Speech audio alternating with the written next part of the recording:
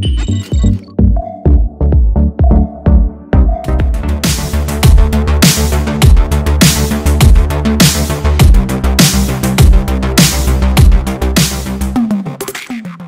thường là gì? Bốn lời Phật dạy về vô thường cần cả đời để thấu tỏ. Với những lời Phật dạy về vô thường, tỉnh thức chúng ta trong cuộc sống hiện tại. Nhờ đó mà mỗi cá nhân cảm thấy chân quý hơn những giây phút hiện tại đang trải qua. Ở phần cuối video này là 30 lời Phật dạy về hạnh phúc vô cùng đáng quý. Kính thưa quý vị và các bạn, chắc hẳn quý vị cũng đã từng nghe ai đó đã nhắc tới hai chữ vô thường trong cuộc sống. Vậy vô thường là gì? Vô thường theo tiếng Pali, Anicca hay Anitya trong tiếng Phạn là một trong những học thuyết nền tảng của đạo Phật đã luôn tồn tại sẵn, chỉ được nêu ra dựa trên thực tế mà Đức Phật đúc rút kinh nghiệm và nhận thấy được trong cuộc sống này. Dù cho có Phật ra đời hay không thì thế gian cũng là vô thường, vẫn luôn biến dịch không ngừng. Học thuyết khẳng định rằng tất cả sự sống đều có điều kiện, không có ngoại lệ, chỉ là thoáng qua, bay hơi và không bền vững. Phật gọi những giai đoạn thay đổi này là sanh, trụ, dị, diệt. Vô thường là một đặc tính của tánh không. Mọi thứ tồn tại dựa trên sự phụ thuộc, tương tác lẫn nhau, phát sinh và biến đổi từ dạng này sang dạng khác. Không có cái nào tồn tại độc lập, không có cái nào tồn tại, tất cả đều trống rỗng. Thân vô thường, sinh, lão, bệnh, tử, bệnh tật, tai nạn bất thường luôn xảy ra. Tâm vô thường, lòng tin dễ lung lay, lý tưởng cũng dễ thay đổi. Thời gian vô thường, đời người thật ngắn ngủi để rồi thoáng chốc hiểu ra một điều, được sống thanh thản hưởng trọn niềm yêu thương là điều quý giá. Tiền vô thường, chúng ta ra đời với bàn tay trắng và ra đi cũng vậy. Dù cuộc sống có giàu sang phú quý cỡ nào, khi chết rồi cũng chẳng thể mang theo. Sau đây là lời Phật dạy về vô thường. Có bốn điều lớn nhất chúng ta có thể chiêm nghiệm về những gì sẽ không tồn tại vĩnh cửu. Một, hữu thường giả tất vô thường, tạm dịch, điều gì cũng luôn thay đổi. Bản chất của cuộc sống này là thay đổi, không có bất cứ điều gì mãi tiếp tục bảo trì trạng thái ban đầu được. Nó thời thời khắc khắc đều ở trong sự biến đổi, bản chất sẽ từ từ cải biến và cuối cùng là biến mất hẳn. Trong khế kinh có câu chuyện một kẻ ác chết đi bị quỷ sứ dẫn đến trình vua Diêm Vương. Vua hỏi ở trần gian sao không làm việc thiện mà cứ làm việc ác rồi giờ bị đọa xuống đây chịu hành hình. Thưa Diêm Chúa, ở trần gian nhà nước muốn làm việc gì còn phải thông báo trước. Tại sao ở âm phủ ngài bắt người chết đột ngột thế này? Thử hỏi làm sao tôi làm việc thiện cho kịp được. Ngươi ở trần gian có thường thấy người già, người bệnh người chết hay không? Dạ thưa có. Đó là những thông điệp mà ta đã báo trước cho người trần gian biết rồi đấy. Ngươi có thấy trên đời này có ai không phải già, bệnh, chết không? Dạ thưa không. Vậy tại sao ngươi không lo tu tập, lo làm việc thiện, để bây giờ bị giải xuống đây thắc mắc? Hai, phú quý giả tất bất cử, tạm dịch, giàu sang cũng chẳng thể tồn tại mãi. Điều này có nghĩa là bạn giàu có đến thế nào đi nữa thì cuối cùng cũng sẽ suy thoái. Tục ngữ có câu, giàu không quá ba đời, trừ khi họ đời đời làm việc thiện, tích đức thì mới có thể bảo trì được vinh hoa phú quý cho đời con cháu. Nếu con cái không đủ phúc cũng chẳng thể hưởng được tiền bạc này. Chỉ có quyên tặng, bố thí đi thì tiền bạc mới có sức sống và tiếp tục tồn tại. Gom góp được thật nhiều của cải không có nghĩa là làm cho tâm thức được an bình một cách tương xứng. Hãy nhìn vào những kẻ có đầy đủ tiện nghi vật chất, họ có thể tự cung phụng cho mình suốt đời.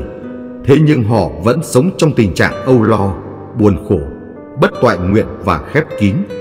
Họ không hiểu rằng hiến dâng sẽ mang lại một niềm hân hoan to lớn nhất.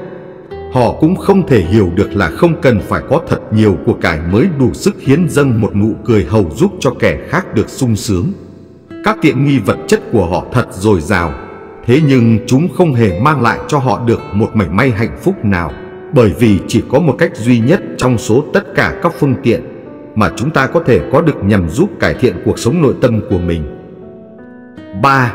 Hội hợp giả tất biệt ly Tạm dịch, tụ hợp thì tất sẽ có biệt ly những mối quan hệ yêu đương hay bạn bè, người thân như lục thân, cha, mẹ, vợ, chồng, anh, em, có lúc ở bên nhau đấy nhưng không sớm thì muộn cũng phải rời xa nhau.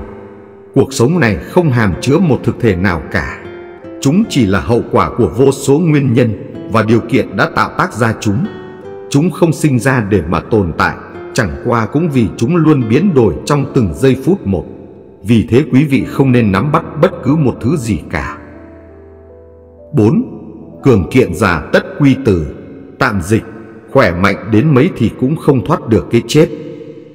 Theo lời Phật dạy, cơ thể của chúng ta cũng như những thứ khác, cuối cùng rồi cũng sẽ tan biến. Nhưng tiếc thay chúng ta lại thường hay quên đi điều ấy, chẳng qua là vì chúng ta bám víu vào thân xác mình một cách quá đáng.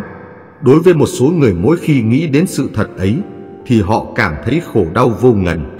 Cho nên, cho dù là ai đi nữa, đều phải sử dụng chính xác từng giây phút khi còn sống, thì sống cũng an bình mà chết cũng an bình, giống như khổng tử đã nói, chiêu văn đạo, tịch tử khả hĩ, tạm dịch, buổi sáng được nghe đạo, buổi chiều chết cũng được. Cuối cùng, Phật Thích Ca Mâu Ni nói bốn câu kệ kệ là chỉ bài thơ của Phật, thường giả giai tẫn, cao giả diệt đọa, hợp hội hữu ly, sinh giả tất tử. Tạm dịch, điều gì cũng có tận cùng, cao rồi cũng rơi xuống thấp, hợp rồi sẽ có ly, sống ắt sẽ có chết. Bài học rút ra khi hiểu ý nghĩa của vô thường như sau. Thông qua những lời Phật dạy về vô thường giúp chúng ta nhận ra rằng sự sống có giới hạn thì phải chăng con người ta khi sống nên có một chút ý nghĩa. Cuộc đời này sao lại sống phí hoài bởi những phiền não? Bạn ước mong gì? Bạn thực sự muốn gì? Hãy thực hiện ngay đi thôi. Hiểu về vô thường để chúng ta phải suy niệm rằng mọi sự sẽ không tồn tại như nó là, mà sẽ biến đổi trong từng giây phút. Không chỉ bản thân ta, mà ngay cả các hiện tượng lớn của thế giới cũng vô thường.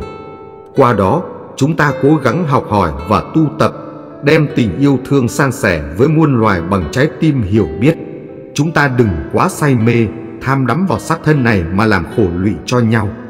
Sau khi chết không phải là hết hay mất hẳn, mà chết chỉ là hình thức thay hình, đổi dạng mà thôi. Rồi tùy theo nghiệp báo tốt, xấu của mỗi người đã gieo tạo trong hiện tại mà cho ra kết quả trong tương lai. Thế gian này không có gì là mất hẳn dù là hạt bụi, hạt cát, chúng chỉ thay hình đổi dạng. Hiểu được lý vô thường để mọi người chúng ta sống có ý nghĩa hơn, làm được nhiều điều thiện lành, tốt đẹp, luôn sống có ích cho mình và người trong hiện tại và mai sau. Hiểu rõ thế gian là vô thường để chúng ta bớt vướng mắc, không trôi theo mê lầm và tích cực sống vươn lên chứ không tiêu cực buông xuôi theo nó. Phải luôn chụp lấy thời cơ hoàng kim để tiến lên. Vậy, tất cả thế gian là vô thường không có gì bền chắc, không có gì để nắm bắt, chấp chặt, thấy được như vậy thì cuộc sống chúng ta cởi mở và gần với nhau hơn. Biết cuộc đời vô thường thì bớt làm khổ nhau. Nếu muốn được sống với một tâm thức an bình, trong những giây phút cuối cùng trước khi lìa đời, thì người tu tập phải chuẩn bị suốt cả đời mình. Và ngay trong những giây phút cuối cùng ấy, phải tập trung tâm thức hướng vào một cảm tính nhân từ thật sâu xa, hoặc hướng vào mối dây tình cảm giữa người thầy và môn đệ, hoặc là vào tánh không và vô thường, hầu giúp mình tái sinh trong một hoàn cảnh tốt đẹp hơn. Quý vị thân mến, lời Phật dạy về hạnh phúc là một trong những lời răn dạy mà chúng ta muốn nghe nhất vì cuối cùng thì cuộc đời này chúng ta làm mọi việc cũng chỉ vì mục đích có được hạnh phúc. Mải mê đi tìm hạnh phúc chúng ta đánh mất những niềm vui hiện tại, quên đi cả sự may mắn mà mình đang có. Hãy lắng nghe những lời Phật dạy về hạnh phúc để bạn nhận ra một điều rằng bất cứ ai trên thế giới này mà ngộ nhận ra và thực hành theo những lời dạy chân thật của Phật thì người đó đã tìm ra được con đường đưa đến tột cùng của niềm hạnh phúc rồi. Sau đây là 30 lời Phật dạy về hạnh phúc vô cùng đáng quý. Xin mời quý vị cùng tiếp tục theo dõi. 1. Cho đi yêu thương, hạnh phúc tự tìm đường đến. Lạc quan vui vẻ, bệnh tật rồi sẽ qua đi. 2 vạn pháp duy tâm tạo con người là kết quả của những gì mình nghĩ nếu một người nói và làm với tâm trong sáng thanh tịnh, hạnh phúc sẽ luôn đi theo anh ta như hình với bóng 3. Thanh tịnh và giản đơn là đôi cánh giúp tâm hồn thăng hoa 4. Không có con đường dẫn đến hạnh phúc Hạnh phúc chính là con đường 5. Vợ chồng cùng sống cùng chết Nháy mắt là thống khổ nhưng vĩnh hằng là hạnh phúc 6. Rất nhiều người vì cái gọi là hạnh phúc mà yêu nhầm người, Nhưng càng nhiều người vì yêu đúng người mà hạnh phúc trọn đời 7. Hàng ngàn ngọn nến có thể được thắp sáng bởi một ngọn nến, Và cuộc đời của ngọn nến ấy không hề bị tàn lụi Hạnh phúc không bao giờ cạn đi khi ta biết sẻ chia 8. Đừng cố xây dựng hạnh phúc trên sự bất hạnh của người khác. Bạn sẽ vướng vào lưới của hận thù. 9. Hạnh phúc là cảm giác. Xen nhẹ chút, thoải mái trong lòng. 10. Nhiều người cho rằng sự náo nhiệt là hạnh phúc Nhưng khi quá náo nhiệt Sẽ không có bình yên. Hạnh phúc thật sự dựa trên sự bình yên. 11. Tâm thái là do rèn luyện Cần phải bình thản. Có tấm lòng yêu thương. Lời Phật dạy về chữ tâm Có tâm át hưởng phúc lành. 12. Thời khắc hiện tại tràn ngập niềm vui và hạnh phúc. Chỉ cần bạn để tâm Bạn sẽ nhìn thấy chúng. 13. Cội nguồn của tình yêu nằm sâu trong mỗi chúng ta. Chúng ta có thể giúp người khác hạnh phúc. Một lời nói, một hành động, một suy nghĩ cũng có thể làm vơi nỗi buồn Và tăng hạnh phúc cho người khác. 14. Hãy hiểu, thương và tương kính người yêu của mình cũng chính là đem hạnh phúc đến cho người và cho mình. 15.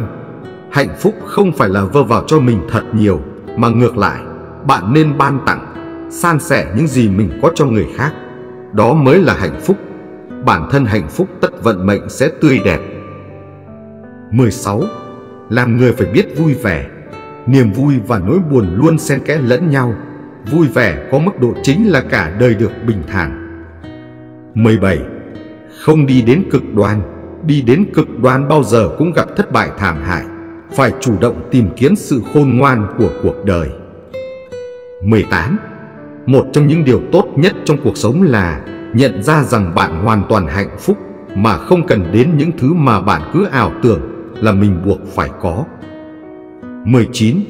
Nguồn gốc mọi khổ đau trên thế gian đều bắt nguồn từ tâm bám chấp 20 có sinh ắt có diệt, có hợp ắt có tàn có thịnh ắt có suy.